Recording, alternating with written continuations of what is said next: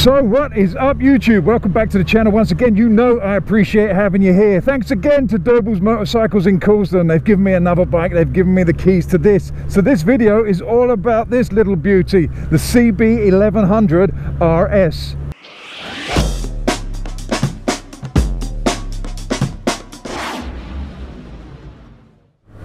So here we are on another naked bike from Honda, this time the CB1100 RS.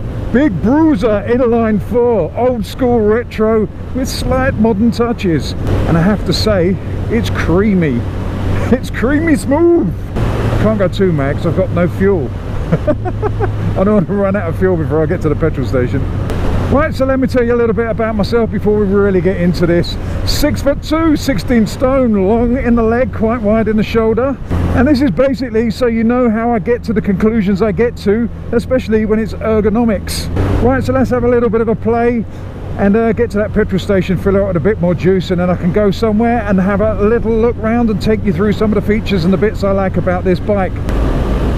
Clutch is really nice, quite light, very smooth the gear change is very very smooth it feels really nice it oh it really is smooth. I think that's going to be the theme for this one smooth. And maybe i might mention the word buttery every now and again. Let's go smooth and buttery for this one. And considering she's heavy she's not bad. She handles quite well. Obviously she's not going to go side to side like a really light sports bike or a supermoto or anything like that but Considering it is a heavy lump, I'm not actually sure of the weight of it. Again, as per usual with my stuff, if you want to know anything about this bike, the specs, I shall leave the link to Doble Motorcycles website below and also to Honda's website where they've got the specs on this. That will all be below in the descriptions box because my rides are all about how it feels to me and how it makes me feel on the bike. And so far, I feel really good on this. Maybe because I'm an older gentleman. Maybe that's what it is. Maybe I just like this retro style. I embrace it. I've said it before, I really like retro retro bikes. I don't own one, but I really like them. I don't know why I don't own one. I think it's because it rains all the bloody time over in England. If it didn't rain, then maybe I would because I'm not one for cleaning bikes and these old style retro bikes tend to take a lot of cleaning because they have the air-cooled fins on and stuff like that and you know what? I'm just too lazy to own one. I'd love one but I'm too lazy to own one. It'd be filthy. It'd look minging. Let's go in here and stick a splash of juicage in it. You're not getting a lot because whoever gets the next test ride gets the benefit of my money. See these test rides are not all glory you know sometimes it costs you money. Right got some juice in her so let's go and have a play. Right so comfort wise at the moment pretty comfortable. I love this seat. It's not too hard not too soft. It's like alcantara. I'm not sure if it is but it looks like it is. And it's it's really good. It's got no slip on it. Because if this was like a plasticky seat i have a feeling because it's quite flat you'll be sliding backwards and forwards. But because it is this alcantara material you've got quite a lot of grip. Space to the pegs they're actually quite tucked behind me. Not full on sports bike but not directly below me like a, a, retro kind of bike. It's quite a sporty position. I don't know whether it's because this is the rs that they tuck them back there but it feels quite good. It, it leans me over the front slightly. Not too bad the weight is not all on my wrist so it's not a bad thing. Well i've got long legs so uh, as you can see my legs are right on the limit. They're right on the tip of the indentation of the tank. So if you've got shorter legs than me you'll be fine. You can tuck them right in. And what that means is because it's sculpted it blows the wind around your knees so you don't get that effect that you get on some bikes where it's trying to rip your legs apart with the wind. That's never pleasant. Right so let's talk about the clocks. I like the clocks. Retro style. Analog but you haven't seen that for a while. I don't think I've done a video with a bike that's got analog clocks on. I love it. I love an analog rev counter. I mean, look at this needle. Oh, there's something quite sexual about that. Got a digital bit in the middle. We shall go through this when I do the walkabout. Walkabout? I'm not Australian. Do the walk around. It's go walkabout, mate. Personally, I would like wider handlebars. These handlebars to me are a bit slim. So because it's such a heavy bike, you don't get that leverage you would if you had wider bars. That's a personal thing because i'm quite wide in the shoulder maybe. But you can just roll around in sixth gear. This engine is just oh smooth. When you get it right up into the rev range about 5000 it really starts to pick up even more. It's really smooth up to that point. There's no flat spots. And then it gives another little kick there and you get a bit more grunt. I'm enjoying this this is a really nice bike it's really comfortable it's like an old school way of riding it is reminiscing time this reminds me of my old 1200 Bandit days. Obviously this is better built than my 1200 Bandit, that was a piece of shit. It's nice to reminisce, it's nice to step back into that old school kind of vibe. This has no traction control, it's got ABS obviously, but it's got no traction control, no rider aids. It's all about these. But the way the power's delivered, I don't feel like I'm going to get in trouble. Maybe with the law but I'm not going to get in trouble as in I don't feel like as I'm coming out the bends I don't feel the back skipping. I don't feel like it's about to high side me. I don't feel like it's pushing the front. It's just it's a nice balance between quick and comfortable. Obviously you're going to have a lot of wind blast on this because it's a naked bike but as I said with most naked bikes the wind blast is pretty pure so you don't get any buffeting. But as an all-day country lane come A road B road. Fun bike I like it. And I like it because it's easy. You know my opinions on easy. Everyone's got this opinion that bikes that are difficult to ride bikes that are not dangerous but bikes that blow your mind bikes that are on the edge all the time are the ones to have. But maybe because I'm older again I don't believe that anymore. I've had those types of bikes. And you know what? After a while you kind of get bored with uh, panicking over every bend you go into panicking about the power panicking about this. Sometimes you just need to chill out and relax in your life and that's what this bike's about. Don't get me wrong it's not slow. It's 1100cc inline four so it's not going to be slow but it's not quick by modern standards if that makes any sense. It's not a pure blaster. It's just got dollops and dollops of torque really let's get into it creamy buttery smooth yeah told you i'd say it didn't i and i like that in a bike i like a bike that i can get on and feel like i want to ride all day that I want to go places on, that I want to get out in the sunshine, chill out, go down the coast, go into the countryside, strap a few things to the back and just have a nice day. And that's what this bike makes me feel like. As I said, in the winter when it's uh, pretty shit weather and you've got to clean it every 10 minutes, I'm not sure if I want to own it then, but on a sunny day, it's a nice place to be. I love this gear change. This is one of the nicest gear changes I've felt on a bike. It's quite organic, but you just know when it's in every gear.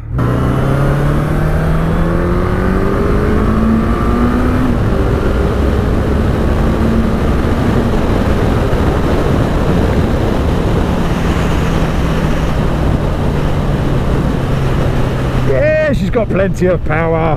One criticism of this little dashboard is uh, you can't quite see the indicators lit up on here, the two arrows, green flashing ones. So you're going to leave them on every now and again. Only a small criticism, but a criticism nevertheless.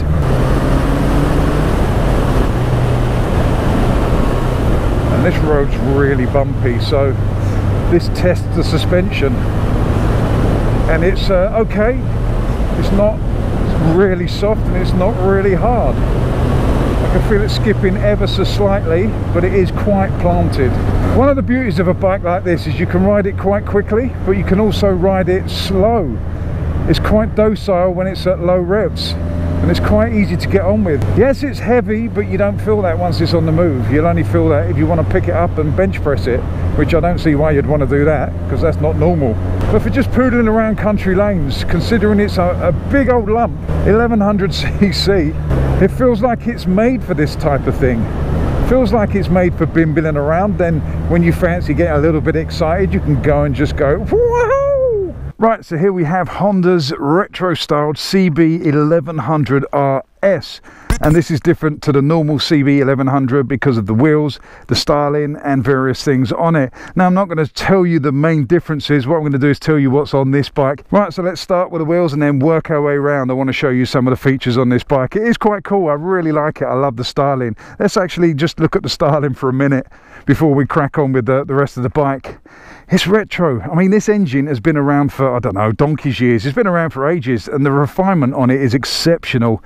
I mean, they've got it down to a fine art. Let's crack on. It's a 120 70 17 on the front and on the back, we've got a 180 55 17 on the back. Pretty chunky on the back a nice size on the front because they're 17 inch wheels you can get pretty decent tyres for this. This one's running the Battlax Sport Touring T30Rs Bridgestones and they're pretty good tyres I have to admit. And that kind of uh, leads you on to where they want this bike to go. It's kind of a sports touring bike but it's a naked package a retro package but it handles quite well it's surprising how good it handles for the size and because you expect it to be old school because the engine's so old and the model the CB1100 is quite an old model as in it's been around for a few years you kind of expect it to be wallowy a bit weak but it's not. They've done really good things with this RS version. Right, brake disc, twin discs on the front, ABS as usual nice chunky forks. I like these forks. They're just oosh. I don't know what that means, but they are. They're Showa forks. They're fully adjustable. They're these, uh, what they call them? Uh, it's written up here. Showa dual bending valve. Have no idea what that means, but it sounds cool, doesn't it? Go and check out the specifications down below in the descriptions box, and uh, maybe you can do your research on that. But it sounds cool because they're dual bending. Don't know what it means. Anyway, let's carry on. Tokico calipers on the front and on the back. You've got a Nissin caliper. Uh, suspension on the back is Showa as well. Double it's got two shocks, one that side, one that side, and they're adjustable. They show, as I say, piggyback styly. I don't know why I said styly, but I did. Engine wise, 1100cc there or thereabouts. Inline four, you've got these lovely four pipes coming out. Look at that. That is old school. I love that. I love the way it sits in this frame. It's this retro frame, so it goes all the way under, and the engine sits in there. On modern bikes, they use the engine as a stress member, but on this, it's like it's yeah, it's old school. I like it. It harks back. It harks back. And it looks good with these air cooling fins on there. It's just nice. It's just a big solid lump. And oh, oh, that's all I can say on that. Oh, here it's all nice. This is not plastic. This is all metal as you would expect on a bike of this quality. Aluminium there. Yeah, it is. I was just checking. And you can see you've got all these gubbins here to make it look like you've got carburetors behind there. But guess what? You haven't. Anyway, down to the foot pegs. Squidgy, take the vibrations out. A nice hanger there. Rear pillion pegs, uh, just standard, quite small. But the rear pillion gets quite a good seat there. That's not a bad seat. Uh, you've got an attachment point there. And uh, it's a pretty big bracket, but it does hold the exhaust on. I would change the exhaust to be honest. Uh, not that there's anything wrong with them. They sound okay. They're just need to be free. The sound just needs to be free. It needs to get a little bit more of a bark in it, a little deeper tone. Not loud, just a little bit deeper, and it'll be perfect. They're a bit big. I'd like to, I don't know, shorten them up and just uncover this back end just slightly more. That's all, my opinion. As you know, these are just my opinions. Uh, I like the way the frame kicks up into here and into this grab rail. You've got a nice grab rail on here with some tie down points there, there, and you can use that one as well. Around the back, it's just a, a big arse light. This is the worst thing about it is the back end. But then again, it tends to be the worst thing about modern bikes is the back end. Because of regulations, they have to, I don't know what they do. They just stick any old shit on the back and uh, expect you to get a hacksaw out, cut it up and make your bike look good. So, yep, it's a big ass light. I haven't gone through the lights. I'll do that in a minute. But yeah, I'd cut that off right through there. Hacksaw it put all your stuff up there. Make it look a whole lot better. Right seat wise very comfortable. It's got this anti-slip kind of effect on it. It looks like alcantara but i would say it's not. Actually i'm pretty sure it's not. But it is really good because it stops you slipping around because it is quite flat when you accelerate you don't want to shine your seat because you don't want your backside going all the way off the back there so you're just hanging on with your arms. So pretty good seat not too hard not too soft very supportive. And if you're a pillion it looks pretty good. It looks like you're going to be okay back then. You've got a few tie down points. You've got one there one there and you can use that loop there in the pillion peg. You've got a couple of uh, holes on this side with keys in. That is your helmet lock and this takes the seat off. So I'll do that for you. For those of you that want to know what type of sandwiches you can get under the seat stay tuned for this bit right so let's take the seat off and have a look. Uh, not a lot here as you would expect but under here you've got a tool kit a small tool kit and uh, enough room for a few bits a phone wallet and a sandwich but only if you cut it in half. If you use that normal bread and you cut it in half that'll fit there nicely. But you won't get a baguette under there. Also on this side uh, again squidgy foot peg gear shift nice and short very precise. I love this gearbox. One of the best things about this bike is the gearbox. Because the engine's quite old it's been around for quite a few years they've got this gear shift down perfectly. I loved it. It was so precise. It was just beautifully smooth. It matches the whole bike. The whole thing about this bike is smooth and that gear shift, one of the best. You've also got a centre stand, which is nice on this type of bike. Right, headlight wise, on the front, LEDs, full LEDs and LED indicators. You've got a little ring that runs around the outside that is broken up slightly, and you've got these four little LED lights, two in the middle and two right at the top that are quite bright for standard lights. I shall shove it on full beam now so you can see that. So that's your full beam. This lights up the bottom strip as well. And uh, I don't know if you can see that, but it's actually blinding me at the moment. It is really bright. That is a very, very good light. And uh, that's another thing I like about these modern retros. Although retro bikes look cool, these modern ones are so much safer.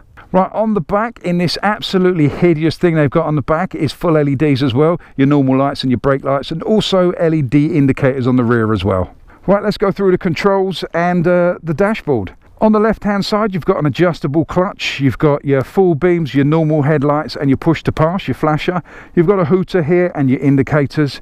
On the right hand side you've got a front brake lever which again is adjustable. You've got your kill switch, your hazard lights and your starter obviously and your throttle. Check this out for a bit of old school the needle sweep. Who remembers that? We've got kilometers per hour on the inside, miles per hour on the outside of this one. You've got an engine management light, neutral, ABS, which goes off at five miles an hour, full beam, and I'm trying to look what this last one is. That is engine temperature. Over here, rev counter. Uh, you've got your oil pressure light and your HISS light, which is your uh, immobilizer system that Honda do. In the middle here is LCD stuff. There's no fancy gadgets on the handlebars to control it. It's all controlled by these little buttons down here. Select button and uh, set button. So we just scroll through. You're on miles at the moment. Then it goes to trip A, and there's three parts to trip A and three parts to trip B. So trip A does uh, 61.5, that's the miles it's done in trip A. Then it goes to 9.9, which is miles per litre and it goes to another one which is 6.2 with the L just under it which is litres so I think that's the litres it's used in total on trip A. And then B is the same 61.5 9.9 miles per litre and then the 6.2 with a litre mark. And then you've got instant consumption as you're going along which is miles per litre. I don't know if you can change it between litres and gallons. You'll have to check the specs for that. Up here you've got a gear indicator even on this 1100 you've got a gear indicator which is a good idea because the engine is that smooth. You kind of need to know which gear you're in. At the top you've got a clock and at the bottom you've got your fuel gauge so that's about it for the details and the walk round, the bits I know, the bits I like. Again, if you want to know uh, any specifics or the proper specifications, go to the description box below. I will put in Honda's page for this bike so you can check out everything there and it will be just under Doble's website. Right, so let's conclude this video. What do I think about the bikes? Right, ergonomics, pretty good. Uh, the legs are quite light, they're not too low and they're not too high. They are tucked up slightly behind you, so quite sporty for this type of bike and I like that. Right handlebar wise, this is not my thing. I don't like them so much. They're too small. The width is not enough for me. I'm quite wide in the shoulder and I kind of would like to be out here more. I'd have more control if the bars were out here than in here. They're too thin for me. It's just me and it's just my body shape, but I would change the bars. I'd put a wider bar on and probably come up an inch as well. Clocks, I love the clocks. I love this retro analog system with a little LCD in the middle. It's quite simple very effective does what it's supposed to do. I like it. Mirrors not a fan of these mirrors. You can see behind you if you tuck your elbows in. Again i'm quite wide so most mirrors i can't see behind me. Because the handlebars are not very wide they're actually placed further in than i'd like. So i'd have to put some extenders on there and get them out. And i'm not sure i like the round ones. I'm not sure if i like these at all. Suspension it's a nice mix between quite firm and quite soft. So it's a medium balance it's just on the standard setting I picked it up with. I haven't played around with it. I haven't even looked at what the settings are but it feels okay on the road when it's nice and smooth like this. It's perfect. When it gets a bit bumpy it doesn't get lively but you can feel the bumps. But all in all not too bad. Brakes very good. I like them this is a heavy bike so don't expect it to stop in an instant. It does take a little bit to stop the bike a little bit of a tug on the lever but you would expect that from that. This is not a carbon fiber lightweight bike. But let's get down to the main thing of this the engine the engine and the gearbox. This is the best thing about this bike. This engine and this gearbox is so sweet. It is so smooth. It is so perfected. That's the word. It's perfected. The gear shift is just sublime. The way the torque is delivered is so lovely it's a real nice easy bike to get on with This is a bike you would take out on a really nice sunny day and just blast around the countryside. This is probably not a bike you would use every day. You can, because you can use any bike every day if you want, but it's kind of too nice for that. This is the bike you want to clean, you want to keep pristine, you want to keep the shine on it. I wouldn't want to get it dirty. I wouldn't want to have to clean it. I feel like it's doing it a disservice if you get it dirty. Yeah, I think if you had one bike and you wanted to use it all the time, you probably wouldn't buy this bike, you'd buy something else. But if you've got the luxury of having more than one bike and you just want a bike in a garage to look at that looks kind of sweet if you're into this retro thing this is right up there i think it gets overlooked because of all the other manufacturers hark on about oh look we got this retro this we got this retro that whereas honda kind of snuck this one in and if you don't know it's there you kind of overlook it right so the big question is would i buy this bike well it's kind of a yes and no answer yes part of me would buy it i would buy it because i love the look of it i love this engine and gearbox I like the idea of it. I'd like to go out on sunny days and just cruise around and just have fun on it and relax and chill out and do that type of riding on it. But then no, I wouldn't buy it because it limits itself, in my opinion, for my style of riding just to that. I wouldn't like to take this out into the rain. I wouldn't take this out on a cold November day when it's peeing down with rain and there's salt on the road. I wouldn't like to do that because I wouldn't like to bloody clean it. So uh, yeah, it's a yes and no answer. Yes, it's a bloody good bike and if I could afford to put it in the garage alongside the millions of other bikes that I would buy, I would probably have one. But no, I wouldn't swap my Africa Twin and my CRF 250 for one. I suppose that's the end of the video. Not really a conclusion. It's kind of a yes and no bike. I'm confused as usual. Uh, it doesn't take a lot for me to get confused, as you've seen. Right, so if I've got to actually be cutthroat and say yes or no, would I buy it? I'm going to do it in the sense of buying it as an only bike and riding it every day of the week like I do normally, then no. Or maybe yes. If I could hire a cleaner to just clean my bikes every time I got it home, then yeah, I'd buy it. But seeing as I don't have a cleaner, no. Or yes. I'm confused. I don't know. Maybe. Let's call it a maybe. I can't say one or the other. It's a maybe. So on that note i'm going to end the video here. Thank you very much for watching. As per usual if you're down in the Coulsdon area go and check out Doble Motorcycles. Go down there check out their website below check out Honda's website below. You can get all the information there. That just leaves me to say thank you very very much for watching. You know I love you all. I shall see you on the next one. Stay safe. Fish out. I don't want your stuff around. I never did you wrong, but you did me wrong. So go ahead, get go, gone. Get all your bags, get out my house. I don't want your stuff around. I never did you wrong, but you did me wrong. So go ahead and get